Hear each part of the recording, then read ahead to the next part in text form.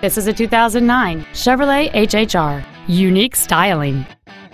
It features a 2.4-liter four-cylinder engine and a four-speed automatic transmission.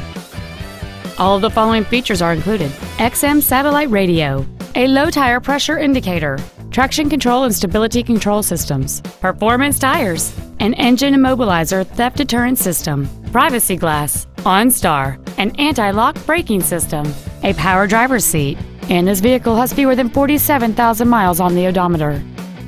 We invite you to contact us today to learn more about this vehicle.